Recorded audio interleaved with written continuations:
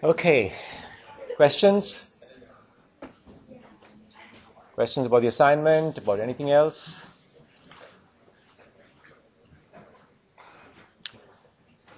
Okay, so last time um, we looked at more at interfaces.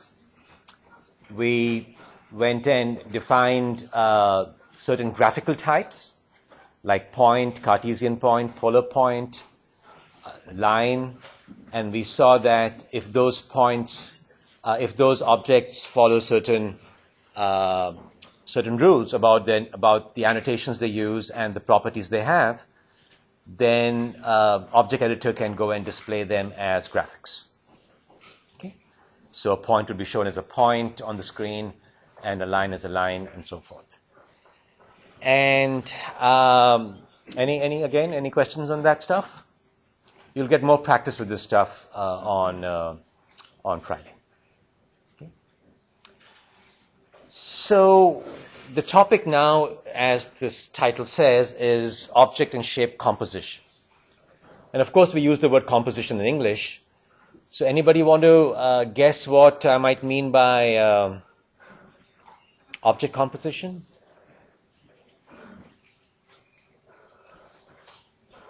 So you have, yeah.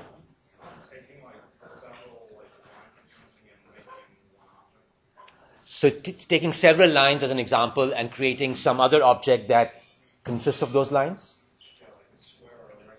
A square or a rectangle, or maybe an avatar, right? Excellent. So in English, we say, you know, or even in music, we talk of composition. And that really means putting smaller things into, uh, typically it means creating something artistic or something creative uh, from smaller components. So we don't compose letters into words. Words are sort of, you know, just sort of atomic value. But we compose words into uh, sentences. Sentences are, are, are, composed into paragraphs and so forth. Okay? So we do that a lot, and that's the art of writing. And the art of programming, at least in the, even in non-object-oriented world, will be composing values into other values. Okay? And the values in the case of object-oriented programming happen to be primarily objects. Okay, those are the more interesting values. And we'll compose objects into bigger objects, which can be composed further into objects and so forth. Okay? So that's what we look at today. And uh, um, as, I, as I've alluded, that there's a notion of creating from smaller things, bigger things, so then we can talk of structure. Okay, so we can talk of sentences having a structure, paragraphs having a structure, so we can even talk of objects having structures. Okay, and then as we'll see, there's actually two ways to figure out what, what structure really means. So let's uh, just uh, recall something we learned earlier.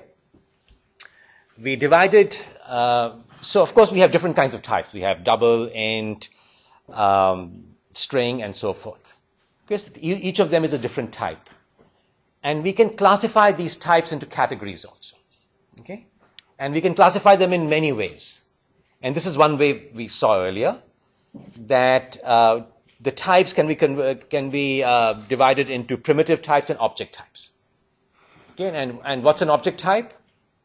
What's, it, what's the distinction between an object type and a, a primitive type?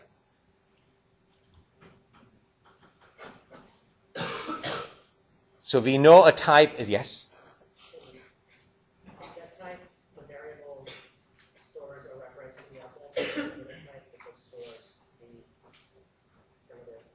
the value itself. So from just from purely a storage point of view, excellent.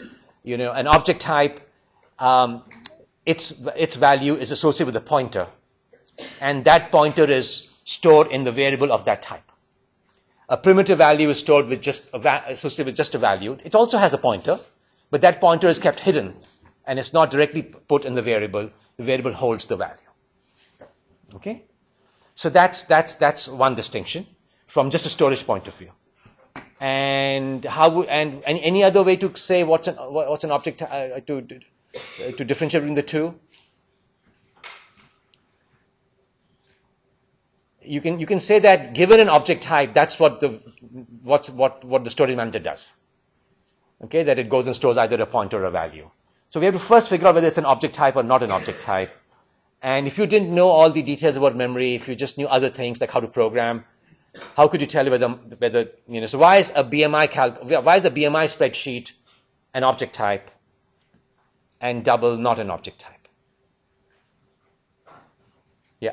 Because you instantiate it. Because you instantiate it, because BMI calculator is a class. Okay? So that's why any class is an object type. Okay? And are all object types classes? We see in this picture that BMI spreadsheet, the interface, is also an object type. Okay?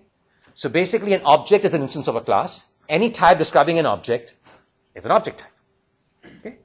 And internally, how it's stored, you know, you could go either way actually. It just so happens that it's convenient and efficient in many ways to do it the way we did it. Okay? So basically, object types are class types and interface types. Okay? And any other type is a primitive type. Okay? So if we've created a class like a BMI spreadsheet, if we've created an interface like a BMI small, uh, like a BMI spreadsheet versus BMI spreadsheet, we know these are object types. If you were to use somebody else's type, like string, how do you know that it's an object type? So string is somebody else's type, int is somebody else's type. How do we know? Uh, how do we really know? Well, we can go look at the code, but is there some convention we know? Object types start with capital. Okay, that's why the convention exists, so that we know. We know that they'll be stored differently. We know they'll have different behavior. So let's go and make that apparent. Let's not have to comment each time and say this is an object type. Let's just go and start the name with a capital letter. Okay? So that's, so that's a distinction. And um, questions on this? You'll be doing a lot of classification today uh, of types. Okay? And this is, this is the primary classification you have to know uh, to even understand how you're programming. Okay? And indeed, object types are referenced by uh, pointers and primitive types are referenced by value. And again, these are both types. You might say, you know, what's the distinction between, what's the similarity between a double, small, you know, this, this primitive type and this class? They just are very different things. I can take a number and say number plus number. I can say number minus number. Okay, and that's how I go and deal with, with, with, with these numbers. Whereas when I have to do, have a, when I have classes and then I have to go and say, object dot method name, um, class dot method name. So you might go and think that, uh, you know, they're just very different things. But in fact, at an abstract sense, they're all defining what operations you can execute uh, on the values of these types. Okay? So you can take it, you can take two ints and add to them each, add to, uh, add them to each other. You can't take two booleans, which are also happen to be primitive types, and add them to each other. Okay? And the fact that you can't do add for booleans and, the, and you can do them for int is what distinguishes these two types. Okay? So in general, all of these types you can use, create a variable of that type. So that's, you know, that's, that's common to all of these types. But what do you do with the variable afterwards depends on the exact type. If it's string, you can do char at. Okay? If it's a BMI spreadsheet, you can do get BMI. And if it is an int, you can add, add two numbers. So basically, a type is a set of operations. What we do in programming is just execute operations, and what operations we can do depends on the type of the value. Okay? So that's what's really going on here uh, when, we, when we type. Okay? And when we go in, in every language, there are types, some force variables to have types when they're declared so that you, you don't do anything wrong. Okay? And some say, okay, we, we trust you won't do anything wrong, so we won't make you go and specify the type of each variable. But if you do something wrong at runtime, we'll give you an exception. And, and so there's different philosophies. You want to do quick programming, and if you're a pretty good programmer or a careful programmer, um, then maybe you use, you know, you don't have variables explicitly typed. Otherwise, you do. Okay. So what we've done here involves both an object type and primitive types. The object type is line. That's what we're creating here. And we're creating this line type from primitive types. Okay? We have this int here, this int, we have ints all over. And we are in fact creating, you know, this type by defining some methods that involve int values, either as return values or as parameters. And of course, now that we know the bean conventions, we know that this type consists of four properties each of which is of type int. Okay? So we've composed an object type from primitive types. Okay, so we've done some composition, okay, and we've created a new type from these small types. Okay, and that's the kind of composition you've done so far when you created your token classes, when you created your scanner bean. Well, not quite scanner bean. Uh, well, not even token, actually. I'll take that back. What we've seen in class has all been involved um, composing primitive types. Now, can you, um, and the reason I said the scanner bean is not created from primitive types is because the property of a scanner bean is, which is we saw earlier, starts with a capital S. We, we don't know, this is, comes automatically, but it starts with the capital S, so it must be an object type. Okay, that's why, uh, that, and, and so, and even your tokens have string properties. So, uh, okay. Okay, now can you, and, and when we looked at line, we saw that we can represent a line in many ways. Okay, we could have the upper left corner and the bounding box the, uh, we could have a bounding box and define the upper left corner of the bounding box and the width and height of the bounding box. Somebody else said, look, I can take the upper left corner and the lower right corner of the, of the bounding box and define the line that way. And there's lots of ways to do it. Now let's think of a way in which we would be composing the line not from primitive values, but from at least one object value. So we could decompose a line into, right now we're decomposing the line into four primitives. Can you imagine uh, uh, uh, a way in which the line could be decomposed into an object, which is then decomposed into smaller values?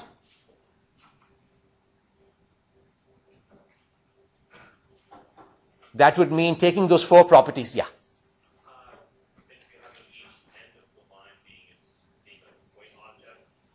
Excellent. Rather than having four primitive values, I could have two object values, each of which is further decomposed into two values. We already have point from before, so this is nice. I took primitive values, composed them into point, I compose point into line. Okay? And that's, that's getting rid of all four.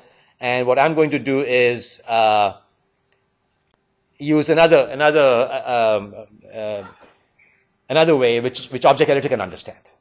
Okay? So object editor always wants a bounding box, height and width for sure.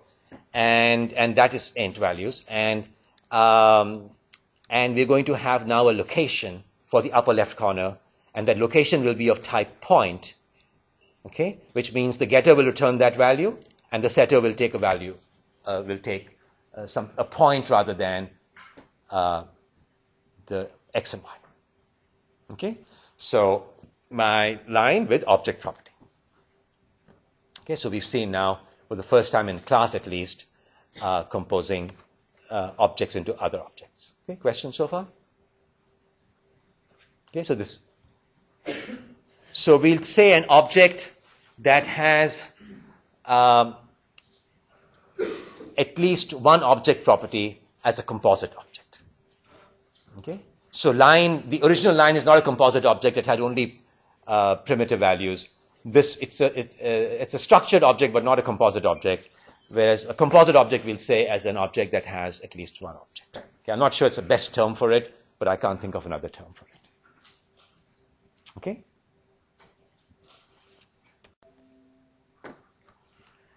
Okay, so now here's my implementation of that particular interface.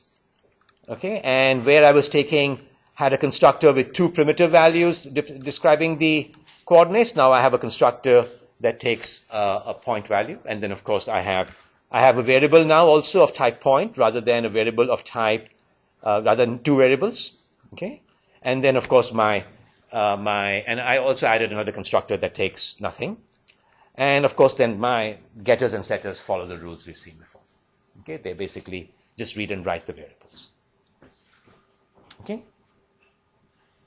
And what's interesting here is that we have both uh, uh, an object type here and a primitive type here. And in, in the implementation we saw earlier, we had only two object types, and that would be also valid. Object editor wouldn't quite understand that, uh, just, uh, but it will understand this one. Okay? There's lots of valid representations that object editor doesn't understand, and these are two ones that it does. So let's look at this graphically. If uh, I mentioned last time that we, we can display an object uh, using a tree window, and the tree window will show you uh, all, the, all the properties of the object. And we see here hierarchically, we see that this is now not a flat hierarchy, but this is, there's a nesting here that you have two primitive values, and then we have this location, which can be further broken up into multiple values, okay, and multiple properties. And so we have this point property, we have this int property, okay, and we can see visually that the point property looks different from the int property, okay, and and that's partly because point is object and int is primitive, okay. So, like I said, I can take the types in this world and classify them into primitive types and object types. Can you imagine other ways of classifying uh, those these types also based on just this example? So, a point is an object type and int is a primitive type. Can you say there's some other differences also between these two types in the abstract?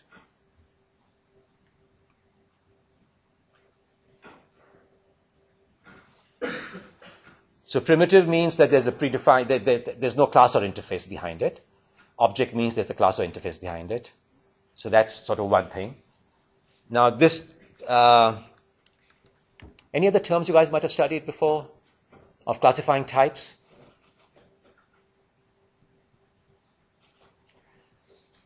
Okay. So int was pro- provided by who? A point was defined by who? Us. We are programmers. So we would call it what kind of type perhaps? You might have heard this term. Or invent one. So programmer defined type. And what would be the opposite of programmer defined? Just from English? Predefined. Okay? So int is a predefined type and object is a programmer defined type. Are all uh, object types, types programmer defined? No. And what's an example of one that isn't? String. Okay? So that's another way of classifying things. Okay, now this value is much bigger. It's decomposable. This value is not decomposable. So what might terms might you use for decomposable and non-decomposable? Just from your English language, I mean, just if you would invent something. So what in, in chemistry or physics, what something that's not decomposable is called? Atomic. So maybe structured and atomic. Okay. So so let's go and look at this in more depth. So we have programmer defined versus predefined. Okay, we have, we have primitive versus object. But now my string, which used to be in my uh, object type, has now gone into my predefined type. All my primitive types are predefined, but some object types also happen to be predefined. Okay? And some of these predefined types are part of the java.lang package, which means you don't have to import them. Other types like object editor, the annotations you're looking at, array list, if you've see, you, seen it before or when we see it later, these are all examples of types that are not on java.lang and those you have to import. Okay. Okay. And then we have, uh, so programmer defined types uh, are basically uh, ones that are defined by, by, by not the language and the, the standard language of the libraries. Okay? And as I say here, all primitive types are predefined. Okay? And structure versus atomic. Now that's going to be a little trickier to define. Okay, we're going to spend a bit of time here. So uh, I put um, I put uh, a BMI spreadsheet as a structure type. And you guys remember, we just looked at this very cursorily, the BMI calculator type. Do you guys remember what, remember what it did? It just had a calculate BMI method. It had no properties. Okay? It had no variables in it too. So I put that as an atomic type and I put the other ones as structure types. So how might you define, uh, you know, we saw by example and by visually we saw that, you know, that, that, that picture was, you know, was, was, showed some decomposition. So the question becomes, when we, uh, so clearly a structure type is something that has, that can be decomposed, that has some child, that has some, uh, where an object has some child into which it can be decomposed. So what exactly is a child of an object? A property. Any other definition possible? Based on what we said earlier, exactly that. That's good, good. I'm glad you're thinking in terms of properties. But if, uh, well, anybody? So if I look at how it's stored in memory, how might I decompose the object? So an object storage and memory consists of what? Is defined by its properties or its variables. Okay? So you can either look at the variables or you look at the properties. Okay? And I, and which one we use? Well, we'll just say there's two kinds of structures. There's a physical structure, which is the variable decomposition, and what would be the opposite of physical? This is a term you'll, computer scientists love to use. When it's not physical, it's,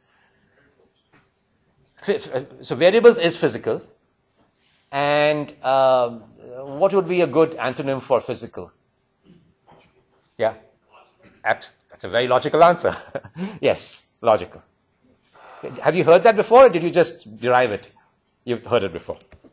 I wonder about these computer science terms we use, whether they really make sense or not. So, okay? So instances of structure type decompose into one or more smaller values. And how can we decompose it? Okay, so let's just, before we go, before we go into that, let's just see this composition happening. Okay, so I have a line with object property, and I'm now calling the constructor here and see how my complicated my constructor is. I'm missing a right paren, I guess. I do that a lot. Uh, so I composed, I composed two ints into a Cartesian point, and I took the Cartesian point and two other ints and composed. No, I guess I'm not missing. Where am I? I am. Uh, I composed uh, these two values into another one. Okay? So you see really through the constructor this whole composition process. Okay? And that you're going to be doing a lot of. I mean, you know, just defining objects on their own is not very interesting. You're really doing object-oriented programming when you're composing objects. Okay? That's, that's, that's, that's why we create objects so that we can compose them. Otherwise, we wouldn't be doing that much of OO programming. Okay? There are many reasons to create objects, but that's the primary reason. Okay? So the composition is illustrated here. And now if I just say a line with object property, I don't go and put any values. What, am, I doing any composition? And if so, what kind? So what's going to happen here? If I just say a new line with object property, what values will my width and height primitive variables have? Zero. What value will my location have? No, not a valid value. Okay? Which is either good news or bad news. It's good news because you'll get a null pointer exception. Uh, sorry, it's bad news. Well, it's bad news because you'll get a null pointer exception. It's good news because you'll get an exception for something you did wrong. Okay, it's, it's worse when silently your program fails rather than, you know, announcing this is where, you know, you did wrong. At least you know what to fix. Okay? So initialize to zeros, initialize to null. Okay, and that's, that's, that's exactly when we go and say, look, this is an object type, this is primitive type, and object types have null values associated with them. Okay, that's a big deal. You'll get these exceptions, and you see that while you're programming. Okay? So, I can go and look at the physical structure of an object, okay, which is my instance variables, location, width, and height. And um, what will the physical structure, and, and I have not decomposed a Cartesian point into smaller values. Do you guys remember what the physical structure of a Cartesian point was? We had a Cartesian point and a polar point. The difference between a Cartesian point and a polar point was, do you guys remember? The properties are the same, yeah. Uh, which, which um, properties were stored variables? Yeah, and, and the two variables, the variables that were stored were the Cartesian coordinates. So we had exact, how many variables did we have? Okay? So that's my physical structure. And my and so these, so when we draw the physical structure, we so in this structure we have boxes and lines. Okay, the lines happen to be variable names. Okay, and the boxes happen to be type names. So you start with the type name, you go and draw these lines, and each of these lines is a variable in that type. Okay, and if if that type doesn't have any variables, you just stop. It's atomic. If that type has some variables, you decompose a little bit more, and you call and, and, and then you go and give the variable names and the types. Now, some of you I know have taken some advanced courses. And have you guys seen some technical terms for boxes and lines in somewhere else? Beyond just, you know, CS1 programming, I know some of you guys have done at, in school a little bit more sophisticated programming than this. Yeah. Like classes and subclasses. Classes and subclasses you also use lines for, right? Yeah, we, we, we use lines for all kinds of things. It gets very confusing sometimes. In fact, uh, there's a whole methodology, you know, that these kinds of lines with this kind of arrows mean inheritance. This kind of thing means, you know, structure. Okay. Uh, so yes, we use lines all over.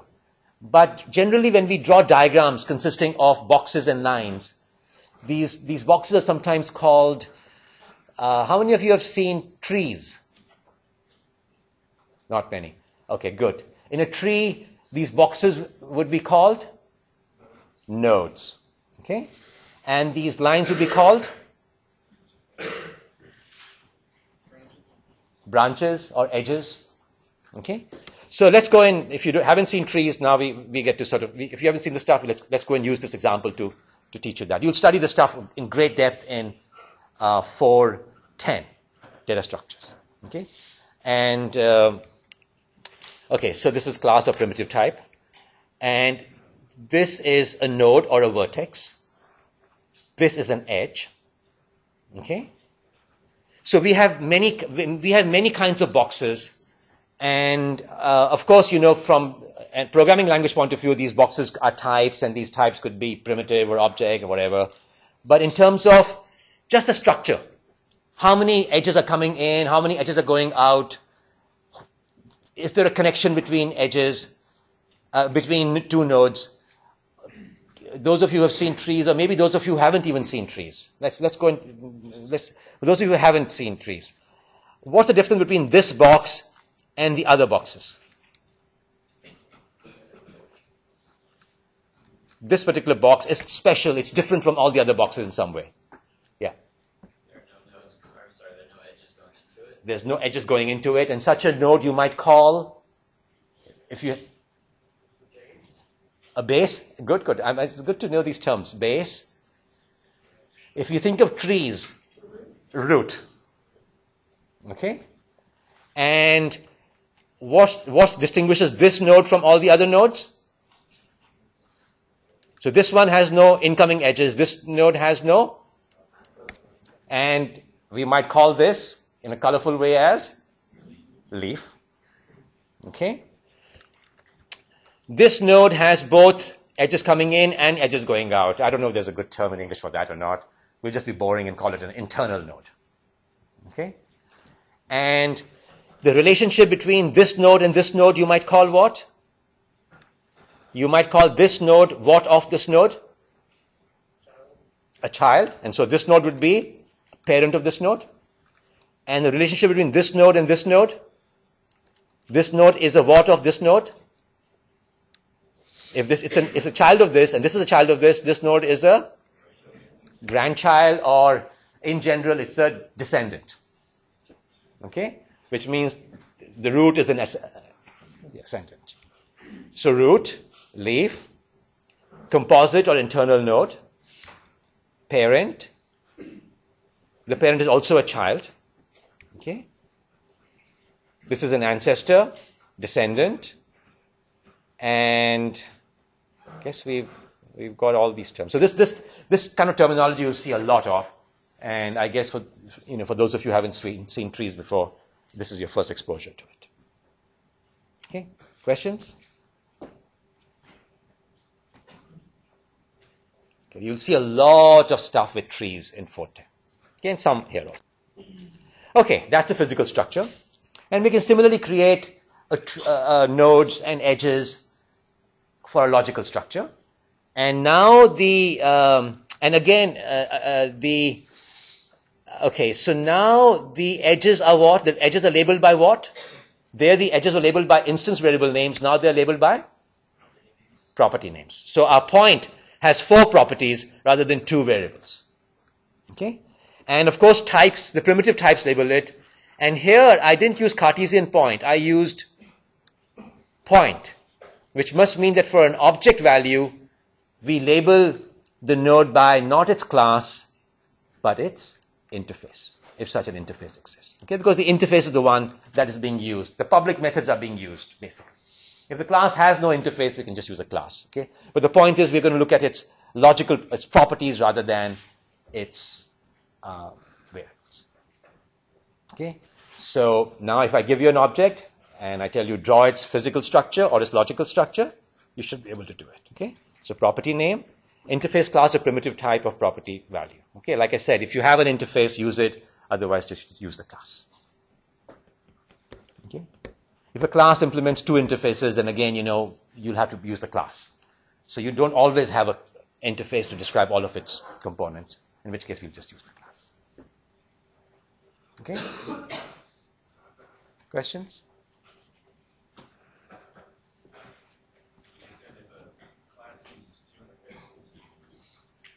If a class implements two interfaces, there's no one type to describe this whole structure. So we'll then just go and use the class name here. Otherwise, if there is the point, I mean, you can always use a class name. Just be careful to go and find its properties rather than its variables. That's, that's the real point. Okay? Questions? So structure types are complicated to deal with just because you know you just have you just have so much composition. Okay. Uh, so I can go and if I really want to see what my logical structure is given an object, I can draw it. I can go through the class and see it. And if I want to validate whether what I did was right or not, all I have to do is go and say object editor dot edit the object, show the tree view, and the tree view shows you the logical structure, at least visually. It doesn't have the names. It doesn't have, um, it, uh, it has the property names. It doesn't have the type names. Uh, those you can, those, those, those you can have, you'll, you'll have to supply yourself. Okay? But you're see, really seeing the logical structure in Object Editor. And is there a tool that you can use? I kind of alluded to it, alluded to it a little earlier, to uh, show the physical structure. If you want to just, you know, if you've drawn a physical structure in your head, you want to validate that it's the right structure, can you go and use a tool and say, yeah, that's, that's, there it is? A tool that I've been forcing you guys to use, which is good for you. An assignment tool, debugger. And, and what does it show? Okay, again, you've got a little tree here. Okay, and that tree is your physical structure, not your logical structure. Okay, you see, so you really see that this idea is not, it's got a precise definition. There's a tool. If it's got a precise definition, a tool can follow it. Okay, so the, the debugger follows the physical structure and object editor follows the logical structure. Okay, questions? Uh, what might I mean by instance specific structure?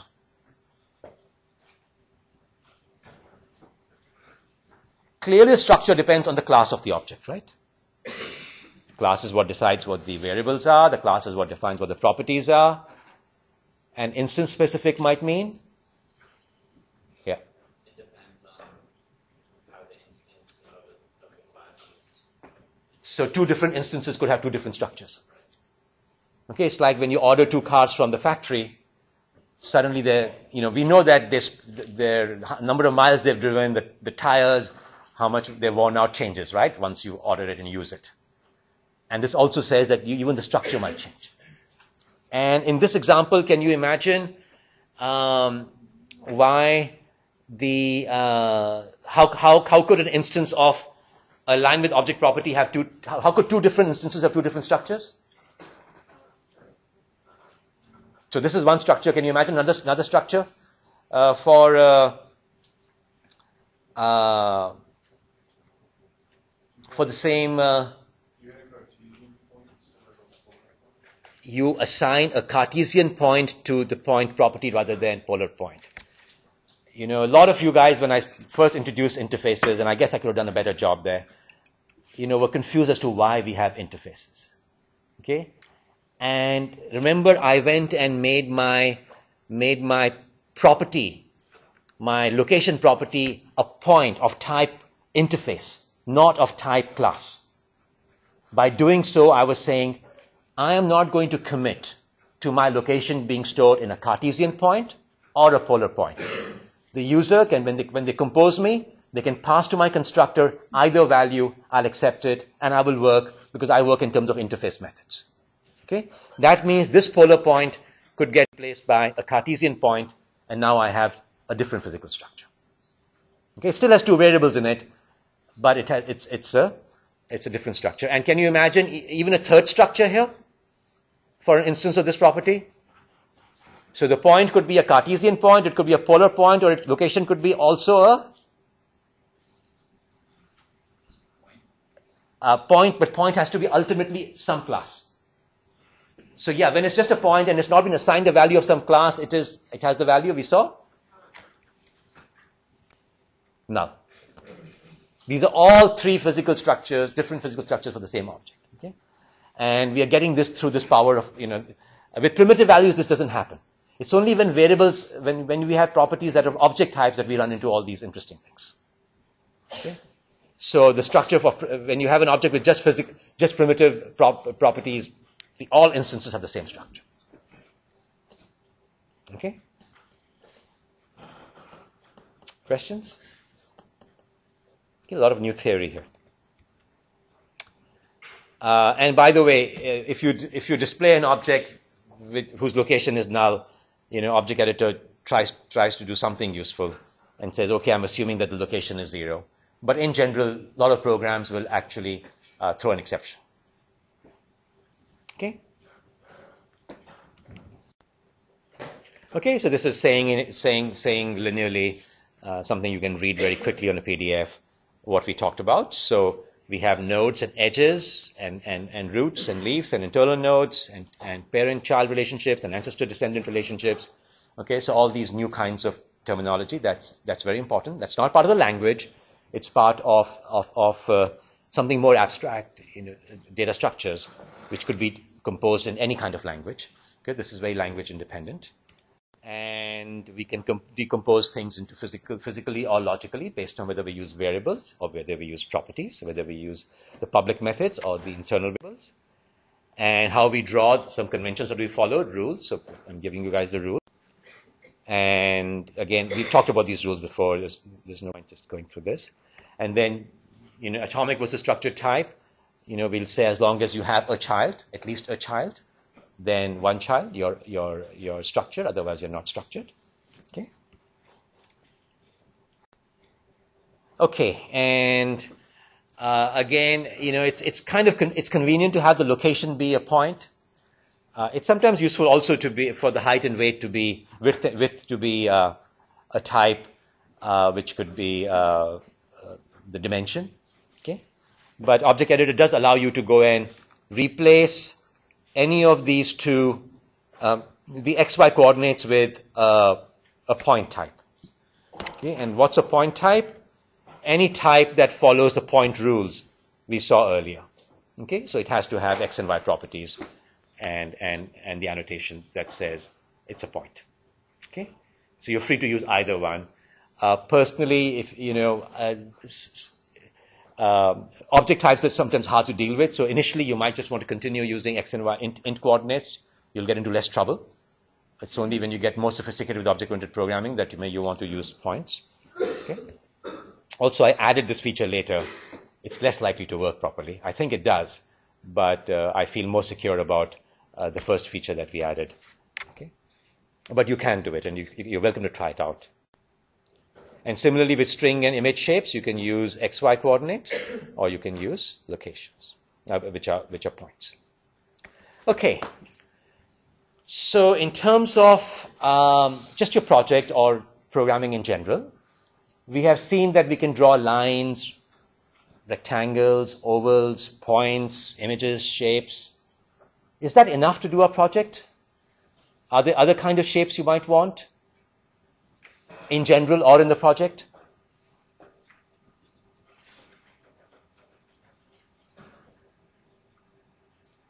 Or in general, forget the project, you know, you might not remember it. What other shapes might you have studied in geometry? A, a yeah. Triangle. Is that an important shape in computer science? Why?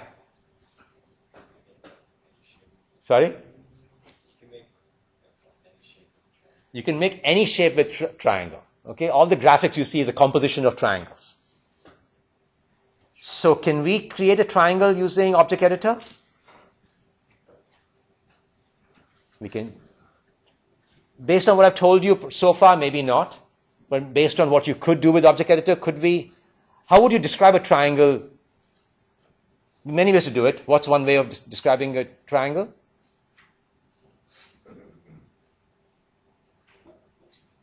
Yeah. Two points. Uh, will that be sufficient? Wouldn't you need three points? Three points, sorry. Three points or three lines. Okay? And if you said it was three lines, could Object Editor do something with it? It could show those three lines to you. As far as it's concerned, there are three lines. As far as you're concerned, there's a triangle. As long as you go and place the lines at the right positions, it will be fine. So, how would you supply three, three? We know how to go and supply one line to object editor. We say object editor dot edit new a line, a, a, a line. Okay. How how would we supply three lines to object editor? We could of course say object editor to edit line one, edit line two, edit line three, but that will show three lines in three different windows. So if you were to design object editor, how might you tell it here are three lines? Somehow it has to do with structure types.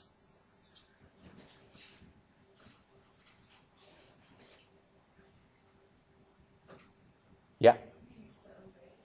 You can use an array, an array of three lines. Okay, that's a structure type consisting of three elements. Did I do something?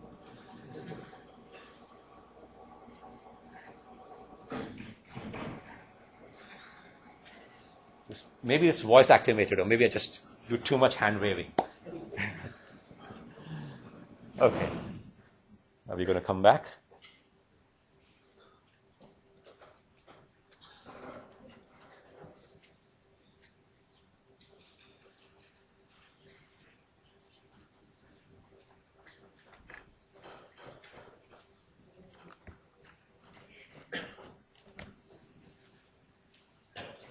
When in, when in, Try turning it off and on again.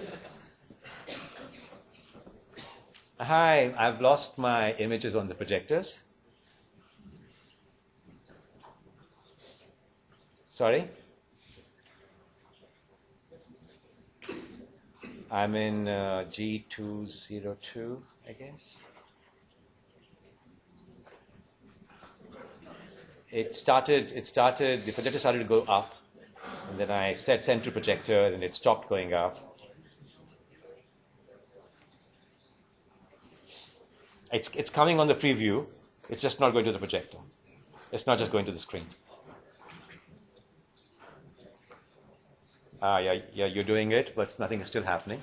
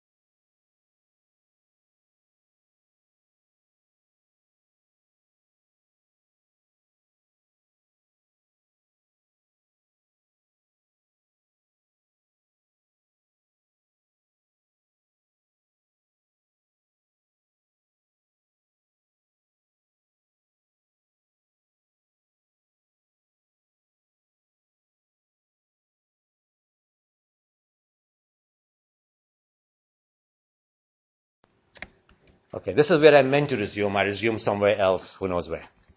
Okay, so reset. Okay, we are going back to this is Groundhog's Day here. We are going back to where we started, and let's go and, and really understand things properly now. So I want to do a Cartesian plane. Okay, and I kind of already told you the stuff before, but let's derive it again. So we started off that a triangle could be three elements of an array, and I said, look, you could create an object with with uh, with with uh, uh, with a bean with these properties. And what are the properties now that you supposing you weren't doing an array and you want to just show this display? What properties might you have in this particular object?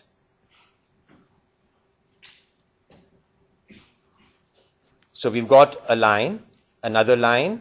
What is this? Sorry? A string shape? Another string shape? So what properties do we have here? Of what types? Two lines, two string shapes. And what about this? What do you think this is? When we remember BMI calculator, we, we the object editor would go and display a slot uh, for, for also a, a textual property like this. This is a graphical property, this is a textual property. So we also have an int property of type uh, or, or named axis length. Okay? So we have these properties. Axis length int, x-axis line, y-axis line, x label, y label. We don't know the names here, but that's, that's what they are. So we have two line properties, two label properties. These two label properties are, I really mean string shape here. Okay? Two string shape properties and one int. Okay? So this is how I'm going to create my composite shape. Okay? And we kind of saw that, you know, in those, in those slides there, which were, which were not meant to be seen at this point. So text property and graphics properties. Okay? And we see here the correspondence. So my x-axis and my y-axis are shown, being shown because of these properties, and the labels are being shown because of those properties. Okay, so this is how I'm creating a composite sh- uh, uh, shape by having multiple uh, multiple children properties. Okay, so questions about this. Okay, the whole idea composite shape is a composite object. Composite object could be an array, but in this case, it is a uh, it's a bean. Okay, so when I go and change the axis length, okay, notice what happened? Both axes change in size.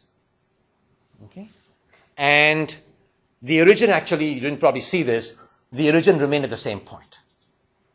Okay, so I now have this object where I can show a Cartesian plane. The whole idea is that look, Java's uh, graphics rules, uh, as showed, say that x and y x goes right and y goes down, we, and, and, and x is, uh, the, the origin is at the upper left corner. That's not what we saw for mathematics. So let's say we want to draw something in a Cartesian plane. So we're drawing the Cartesian plane. So we, we, the origin is somewhere in the middle, and x goes right and y goes up. Okay? So we want to simulate these. I'm not saying you should be doing this for your project, but I just want to show you how you could create such an object using what we know already. Okay? So I have um, I have something that's mutable. Okay, so that's that that that you can change, and uh, this axis length is something you can change to go and govern this. So based, we're going to look at the code in a few minutes, but based on what I just said, can you look at the algorithm here? So we got we, we have some code that goes and positions things properly. Okay, and when I did set axis length, what do you think? What all do you think happened in the code? It changed the axis length. Plus, it did what else? Reposition the labels. And so it, it went and changed these two. These two became, this is the independent property. And labels depend on this property. So they change, plus, of course, the lines themselves. And the question is, and I was, I went further, do we, did we assign new lines or did we just change the lines? Okay? You can go either way. And I'm going to tell you one way is better than the other, but you could do both things. Okay? And the origin remains the same. So other properties are dependent on the axis length property. And we see the code here. Okay? I have an origin x and origin y. Okay? Which is not directly a property, but which is something I keep internally. I have an axis length property, a variable. I have two lines here that are storing my x-axis and my y-axis. I have string shapes to show the two labels. Okay? And in the beginning, I'm given just the axis length and the origin. I create these shapes. I do the geometry and I go and um, position things properly. Okay? Now look what I did here. So I created, I put the origin, I, I assigned the origin value, I created a new line, a new and string shape and so forth. I have to pass appropriate values to the constructors. Now I'm going and saying 2 x, x axis x as a function, 2 x axis y as a function. So these, uh, these functions are doing what? I mean, they are returning, as the name indicates, they go and convert something to the x-axis's x value. Some, some, somehow they can uh, compute the x-axis's y value, y-axis x value, y-axis is y value, and they compute it from what value?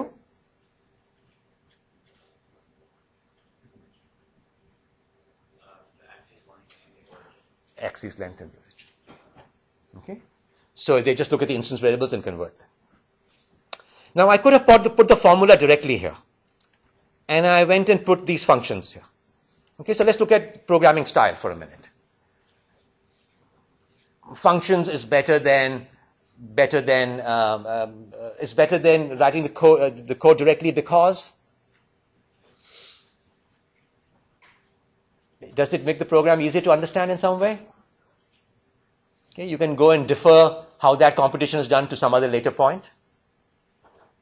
So that's one reason to make things, make it into a function. What's the other reason to make some, a code into a function?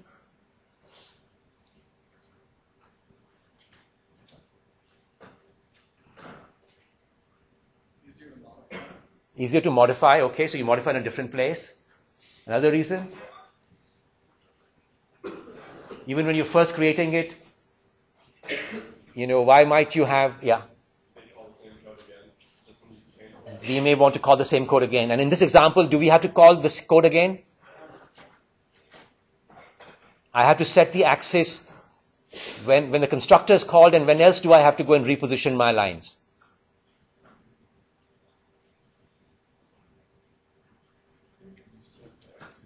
When we set the axis length. Okay? So I want to basically go and do it once and not do it multiple times because then I might, I might just do things one place I might do it right, and I say, oh, I got it, and then forget to change the other place. Okay? So that's why I'm doing this. Okay, but any, any mysteries about this so far, the constructor? Okay, you go and just do some geometry to make sure the lines are positioned at this right place, and you've got lines with two shapes. Okay? Questions? And my get x axis, my get y axis, get x label, get y label, they all do the obvious things. My set axis length is the most interesting function. It goes and assigns the axis length, and then it goes and says set width to, uh, it, it, it uh, sets the width of the x axis and y axis. Okay? There's no competition involved here. So the width of x axis and the height of y axis, sorry. Okay? So a line, one of the lines has, has zero uh, height, one of the lines has zero width. And then it goes and calls this two x axis x and so forth functions uh, again. Okay, and I guess I must might have had an x label x also earlier, but and and so I'm calling that function also. Okay, you'll be doing a lot of this kind of computation, so it's important to get it right, and it's not the easiest thing in the world. So I'm going to spend some time on how on different ways of doing this also. But you get the basic idea how we, we do dependent properties and independent properties. This is your independent property, and you have to compute the dependent properties. Okay? And notice that I am not creating a new line each time. I am going and changing the existing line. Okay? I know from previous offerings of this course, many people just create new lines, and I'll show you example of that code. That's very clean actually, but it's not, not very efficient. Okay? And now I'm doing all these, this, these, these functions, which I can just relegate to a different part of, my, of the code and say, yeah, hopefully these work. Okay, and again, I'm not going to get into this, but you know, hopefully they do, they do work. Okay? Okay, this is where I'm computing these functions I use. Okay. So I went and used the x act to x axis y to uh, all these functions both in the constructor and in the in the uh, setter of axis length. So I did some reuse. Can you imagine doing even more reuse? Can you imagine things, you know, if I, can you imagine my program not perhaps working correctly if I change something at one place that is similar to something at another place but not identical? That's, that's not calling the same function. So can you, can you imagine more reuse here? Can you imagine, yeah. Just call the set axis length right here. Okay? In which case, I don't have to go and waste time doing these computations here. I can just pass either some garbage values or just go and pass um, to line um, um, no arguments if I have such a constructor. And why do you think that's a better way?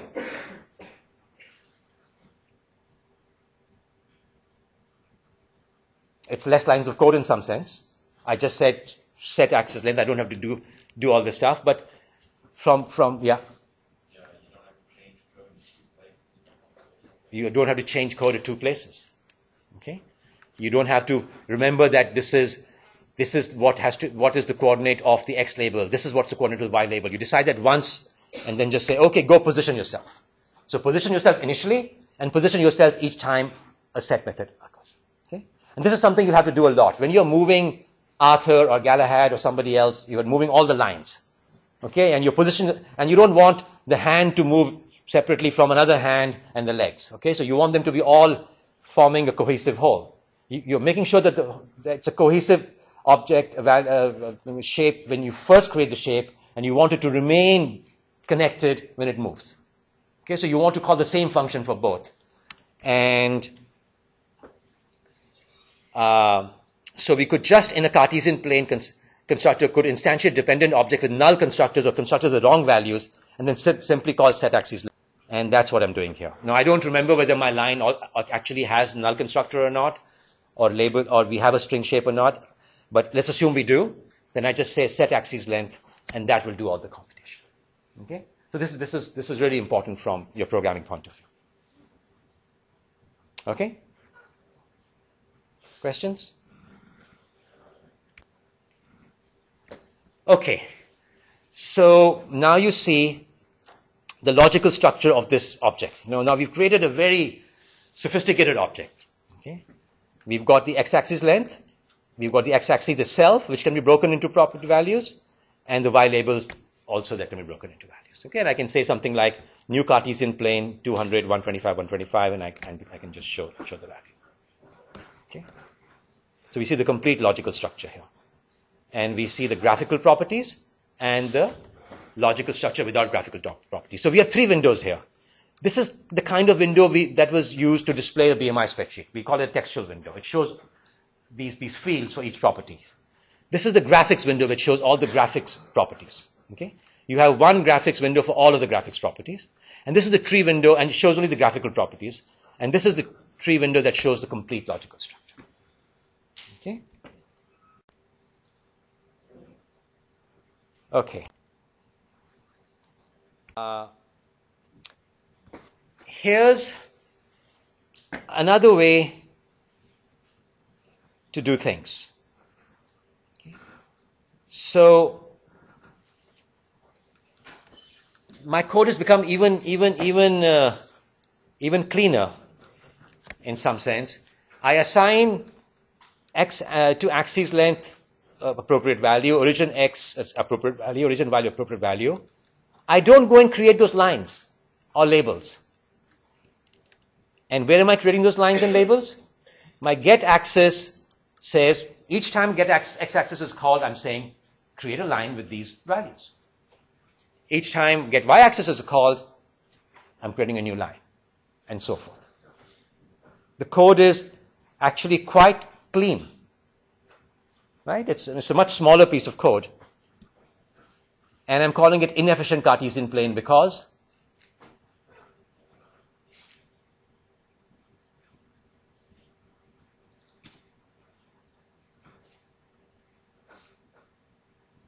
So in one case, I created the lines in the beginning in the constructor, and my set axis length went and changed those lines and shapes. Now what I'm doing is every time I call a get method, I go and return a new line with the appropriate coordinates. Yeah. You're creating a lot of objects. Every time you create an object, what happens in memory? You have to find some space for it and put it there, and, and, and it's, it's costly.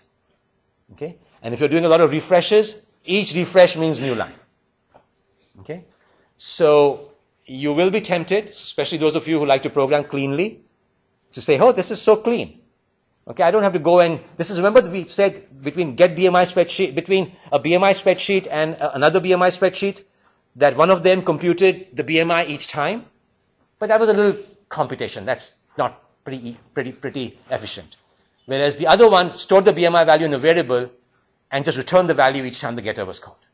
So the, the dependent properties were not computed each time. And yeah, when they're primitive, it's okay. But when they're object properties, that means you're allocating a new object in memory.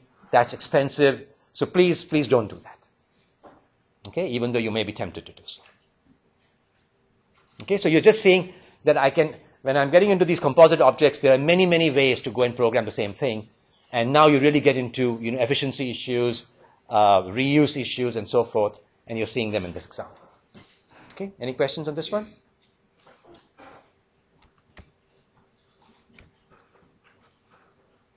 Okay, the set axis length is so, so simple. I just said axis length equals set ax- axis length. So it's, it's, it's, it's in many, arguably pretty clean code. Okay? Okay, we have two minutes. Um, and we'll start from here again next time. But just tell me what the properties of this particular object might be. I've created, I've created a, I've created a shuttle image inside a Cartesian plane, and I'm going to make the shuttle move based on the x and y, shuttle x and shuttle y I'm seeing here. Okay? And anybody quickly want to say what the properties might be? Just think for a minute.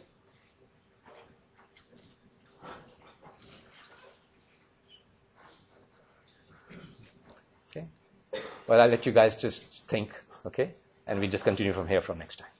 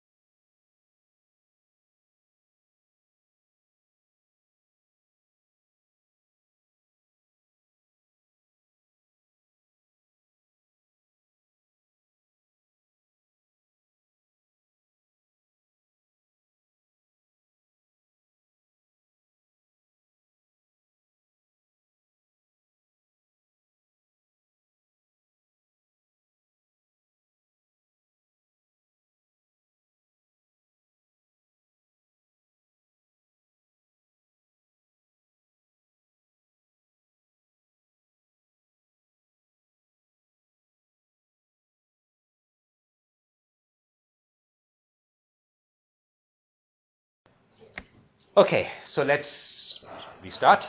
So basically, um, as was pointed out, uh, what you see as smooth graphics is really got underneath a bunch of triangles composed. Okay? And we've seen that if we can somehow create a triangle using Object Editor, then we could create any shape using Object Editor. Now, I'm not going to say we're going to do that, compose triangles. Uh, for that, you have to take a graphics course. But in theory, you could do it. And what we could do, though, is allow lines to be composed into bigger objects like triangles or Cartesian plane, shuttle. You know, we'll go and see some examples here. And in the case of triangles, we saw that a triangle would be consist of three lines. And how do we tell Object Editor that here is three lines that are one unit? Well, we give it a composite type. We give it a structure type whose uh, logical structure consists of three components that happen to be lines. In the case of an array, its logical structure is actually three, is the elements. But if we were to create our own bean, we could create a bean with three, uh, we could create a triangle bean with three properties, each of which is a triangle, a line, and we could show a line, show a triangle. Okay? So um, that's the key behind behind what this what object editor design and the design of program we will, we will have. That a composite object is object with one or more object logical components. Non-composite object is zero or more. And uh, what we're going to say is a composite shape is an object with one or more shape components. So a composite shape is a composite object where at least one of the properties happens to be a shape object. Okay? So I'm going to give you practice in dealing with composite objects by making you essentially create a lot of composite shapes. Okay? And, and, and those will be visually uh, uh, visible to you, so it's easier to debug something that's visually visible rather than something inside the program only. An atomic shape is that shape that cannot be decomposed into component shapes. Okay, so we've seen atomic, atomic shapes, we've seen composite objects, we know enough theory now to create a composite shape. Okay? So, and, and, and just to point out the difference, you can have an atomic shape be a composite object. Okay? So, this object is composite. It's got a location property. Okay? But it's a compo- so you, if you look at it in the tree view, you see that there's a structure there. Okay? But as a shape, you can't decompose that into smaller shapes. Okay? So as a shape, it is a uh, atomic shape. Okay? So I'm just trying to show you the relationship between, between these terms. A lot of terms we've learned today. Okay? A lot of good quiz questions. uh, now we're going to come up with a composite shape that is also a composite object. And we see here a line, which is a compo- which is, which is, uh, which we see here a Cartesian plane. Okay? And it's two lines, not a triangle, but with three lines, two li- lines. And we see here an x-axis property and a y-axis property. And if I go and say object editor, edit some instance of a Cartesian plane, and if the lines have been initialized to, to, to line values, um, and not to null values, then you will get two lines on the display. And it so happens that these lines happen to be displayed, formatted in a certain way just because of the geometry we implemented into Cartesian plane. Okay? So based on this, what are the properties here? Uh, so we have, uh, okay, I guess I'm, I'm, I'm, I'm saying here that look, my location is mutable. Okay, so our point, in the case of point, our, our, our property was not mutable. Here I'm saying it's mutable, and just see where I'm going here. Um, but I don't have any mutable property here. Okay, so that's what I'm saying here. That you can, you can define, you can allow these, these properties to be mutable or not, to have setters or not, and that's up to you. Uh, but in, in this, in the case of this particular composite shape, um, we have uh, only getters and no setters, and that, that will work fine because each of these, the line itself is mutable. The line can be, dis, you can't assign a new line to the uh, class, to the object, but you can change the line itself. Okay, so that's the point I'm trying to make, I guess. Okay, that if you don't have a mutable point, that means if you have a location property, you have to go and assign a new point when you want to change the location. Okay, and uh, similarly, you could do that with a line. that if you have a triangle with three lines, you could make the, the each line property a, a mutable one or not mutable. If it's mutable, you can assign new lines. If it's not mutable, then maybe you can change the line properties themselves. Okay, so that's, I guess, what I'm saying here. And typically, composite shapes don't have setters. Okay, that's the other thing I want to make. Because if I, because, you know, a triangle, there will always be three lines. The question is, where are those lines displayed? So to move the line, you shouldn't have to go and assign a new line to that object. You can just change the line. Okay? So this is where sort of programming with structure types becomes tricky because sometimes you can change the value of a descendant or sometimes you can just assign a new descendant to yourself. So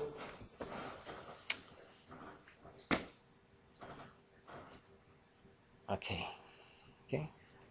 So the object editor graphics rules now are, are, are we, are we are getting into those here. And we see here that if I go and display uh, display something with so you know, this is this is not quite what I expected these slides to be. I might have might have uh, might have might have changed it another deck. Okay, let's do with these. So uh, I've got a new type now, shuttle location, which is uh, you know let me just let me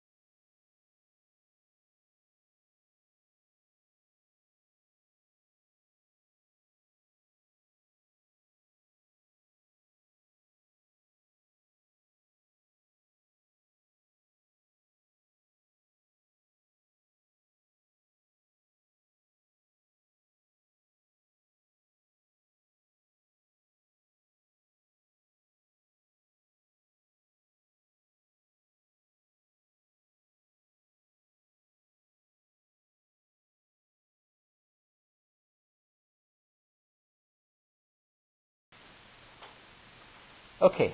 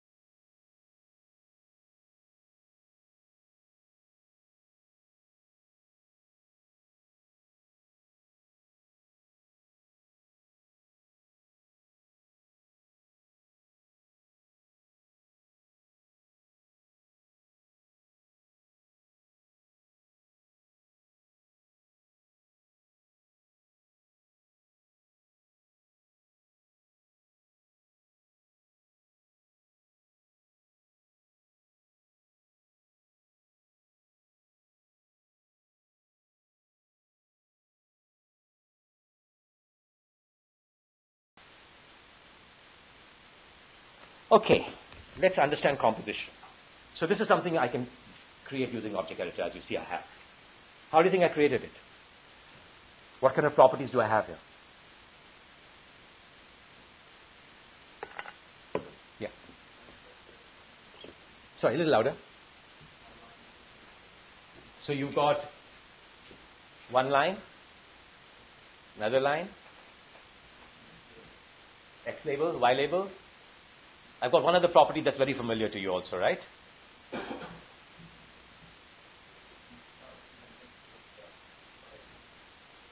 Yeah. What is what? And that's also a property. Axis length. Okay. That's a familiar property. You don't. You don't. Now you. Now it's so much into your DNA. You don't even look at see it, right? So these are my properties.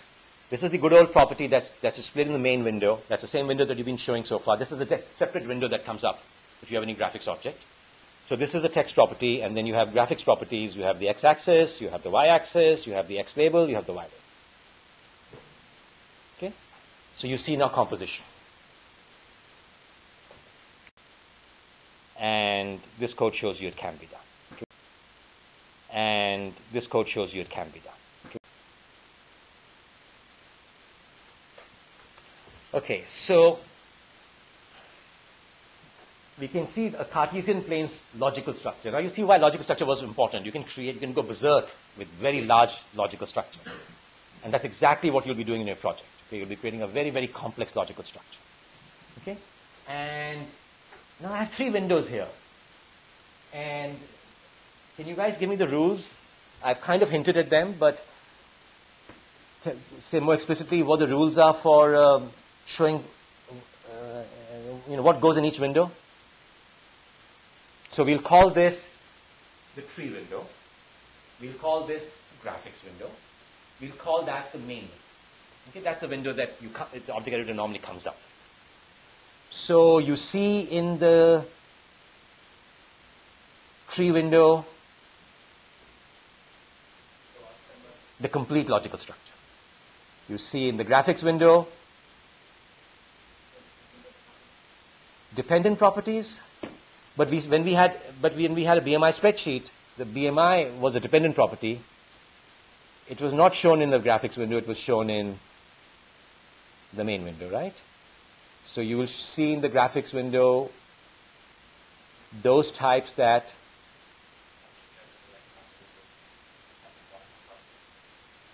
those types that object editor recognizes as having graphics from, which we just call graphical types.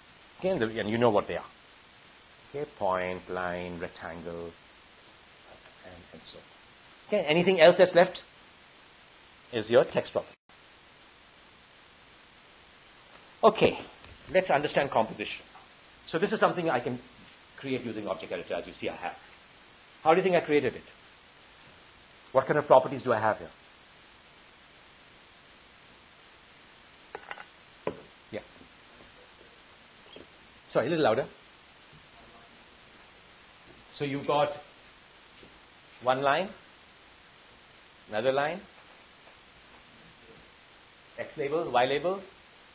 I've got one other property that's very familiar to you also, right?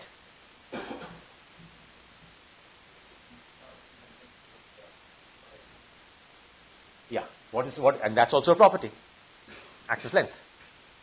Okay. That's a familiar property. You don't. You don't. Now you. Now it's so much into your DNA. You don't even look at see it, right? So these are my properties. This is the good old property that's that's displayed in the main window. That's the same window that you've been showing so far. This is a separate window that comes up if you have any graphics object. So this is a text property, and then you have graphics properties. You have the x-axis, you have the y-axis, you have the x label, you have the y label. Okay. So you see now composition.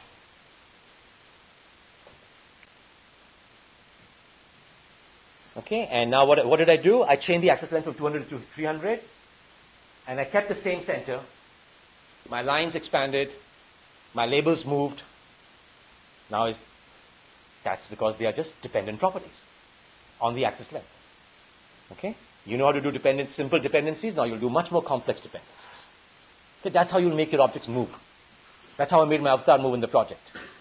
Okay, I changed his x and y coordinates, so, and, and then everything else was a function of that. So it also changed. So Cartesian plane retains the same origin. and other properties depend on the axis length property. Okay? If you can understand that this can be done.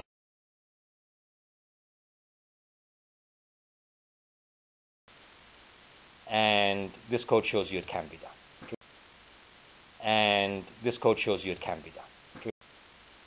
And this code shows you it can be done. But you can look at it. And there's one go into, but you can look at it. And there's one sort of point I want to make at this here. So you can see that the X label had to move its position. The Y label had to move its position.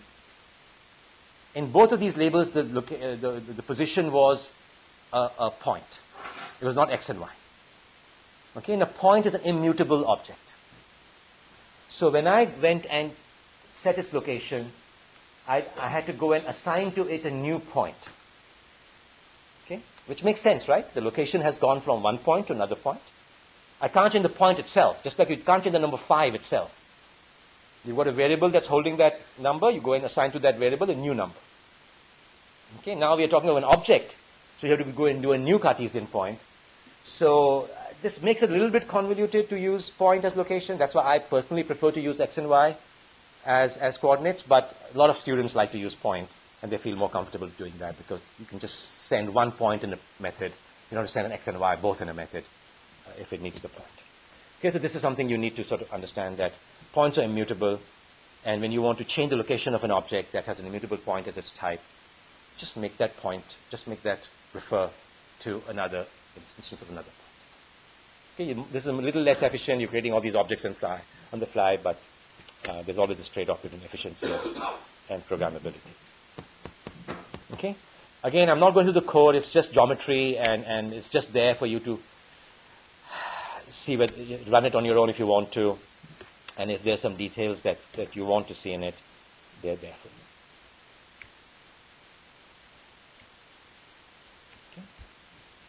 And another way to look at types is to, to, to decompose types into structure types and atomic types.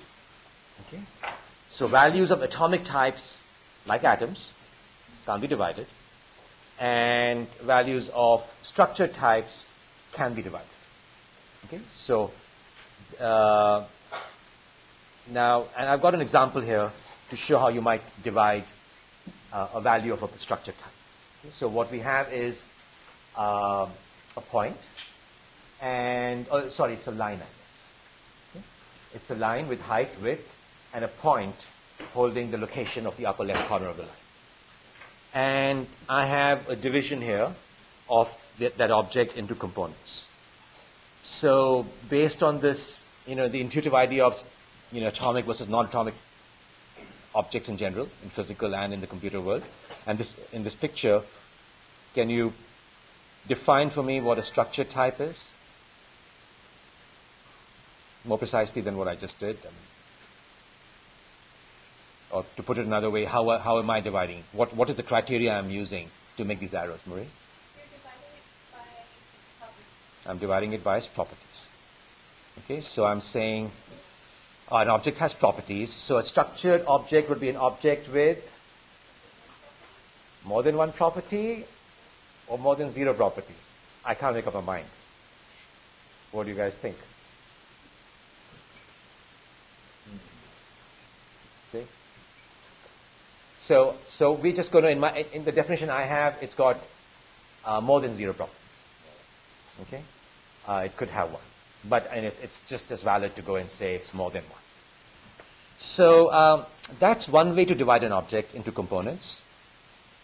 And now that you understand beans and properties, you know, you're well versed to go and do this division. Um, is there another way to divide an object into components? Which you might have known before you uh, heard about properties?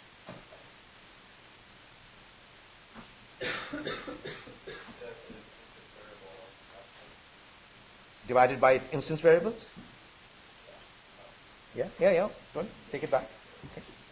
So, so that's, I, I told you that an object has a logical representation defined by its interface and a physical representation defined by its instance variables. So I could use the logical representation to find its logical components or its logical structure. And if that logical structure has one or more components, we'll call it structured, logically structured type. Okay, so we can see a Cartesian plane's logical structure. Now you see why logical structure was important. You can create, you can go berserk with very large logical structures. And that's exactly what you'll be doing in your project. Okay, you'll be creating a very, very complex logical structure. Okay? And now I have three windows here. And can you guys give me the rules? I've kind of hinted at them, but say more explicitly what the rules are for um, showing, uh, you know, what goes in each window.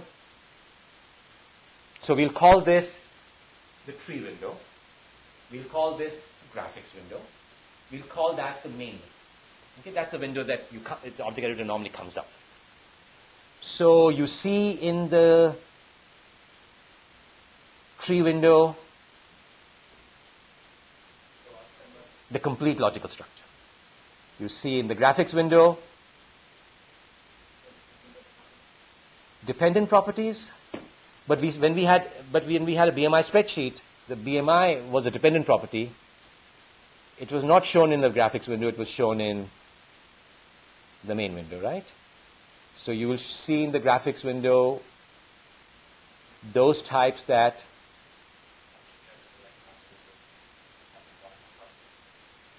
those types that object recognizes having graphics from, which we just call graphical types. Okay, and you know what they are. Okay, point, line, rectangle, and, and so on. Okay, anything else that's left is your text property.